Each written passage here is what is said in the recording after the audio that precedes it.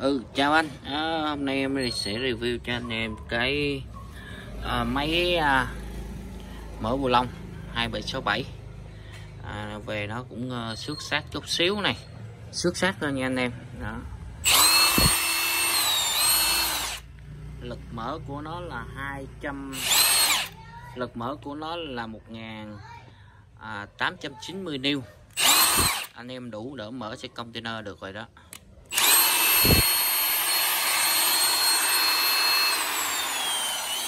Thì cái pin à, đi kèm theo máy là 3A và một sạc à, 110 nếu mà anh em nào muốn lên 220 thì em sẽ lên cho anh em.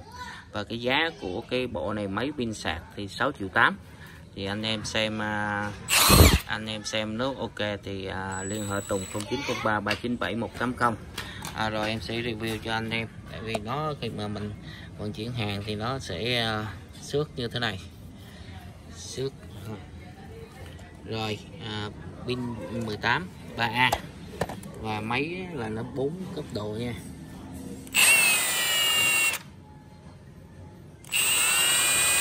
Cấp 1 nè.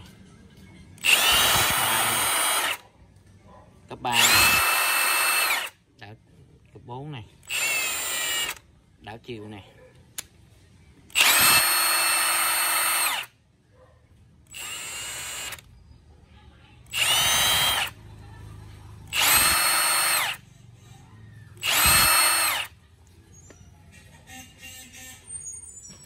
khẩu 1 phần 2 thì anh em mở xe hơi máy cày xe tăng rồi đó. Rồi à, nhà xưởng rồi là rất là ok. Nồi xe máy thì rất là nhanh gọn lại. À, rồi cảm ơn anh em đã quan tâm và theo dõi.